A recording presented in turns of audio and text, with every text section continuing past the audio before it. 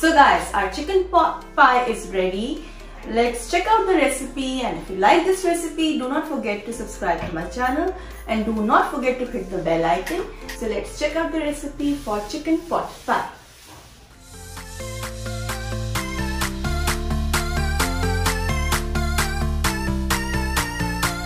Our oven is set at 180 degrees centigrade और मैंने chicken को शेड कर दिया है। I had left over chicken तो मैं इसको यूज़ कर रही हूँ। आप ताज़ा चिकन भी बना सकते हैं। चिकन रोस्ट बना लें इसको श्रेड कर दें। And then we are going to melt the butter medium आँच पे बटर को अच्छी तरह से पिघला लें। उसके साथ ही हमने इसमें एक चम्मच लहसुन डालना है। वन चॉप्ड अनियन एंड रफली चॉप करके इसको डाल दें। एंड uh, बहुत इसको पकाना नहीं है। बस साथ ही हमने दो आलू चॉप्ड काट के डाल देने हैं। मेक श्योर ये थिनली स्लाइस हो ताकि जल्दी से गल जाए। आप प्री बॉइल्ड आलू भी इस्तेमाल कर सकते हैं। And then just add two teaspoon of black pepper powder नमक हसबे जायका। 2 teaspoons of paprika powder and that's about it no more spices add your chicken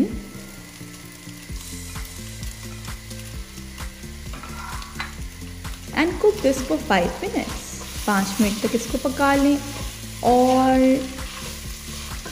इसके बाद हम इसमें डालेंगे अपने हिसाब से वेजिटेबल्स कौन सी वेजिटेबल्स डालते हैं it's totally up to you I have used peas and potatoes only.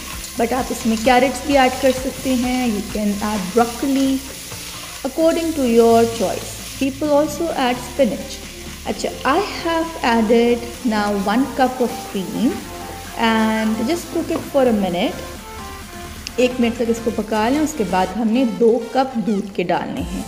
एक कप क्रीम एंड दो कप दूध. इसको फिर इतना पकाएँ कि एक उबाल सा आ जाए और उसके बाद हमने इसमें आहिस्ता आहिस्ता करके मैदा डालना है।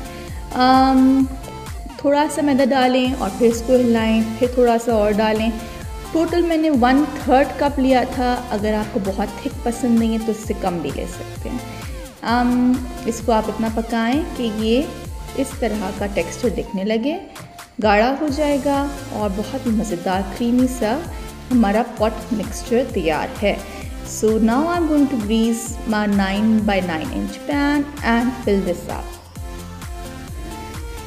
इसको इवनली स्प्रेड कर लें एंड मीन पाइल जब तक हम अपनी पफ पेस्ट्री स्ट्रिप्स को काटेंगे, ये ठंडा भी हो जाएगा थोड़ा। इसके साथ ही मैंने स्टोर बॉट पफ पेस्ट्री ली है और उसके साथ इसको डेकोरेट कर दिया है। दिस इज़ माई स्टाइल आप इसको किसी और तरीके से भी डेकोरेट कर सकते हैं।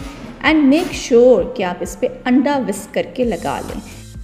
Bake this pie for 25 minutes 180 degree centigrade पे from just the bottom and after that आपने 25 मिनट के बाद इसको निकालना है और फिर इसकी साइड चेंज करके पाँच मिनट के लिए सेम टेम्परेचर पे सिर्फ़ ऊपर से बेक करना है ताकि इसका ऊपर का क्रस्ट बहुत ही क्रिस्पी सा, मज़ेदार सा बेक हो जाए।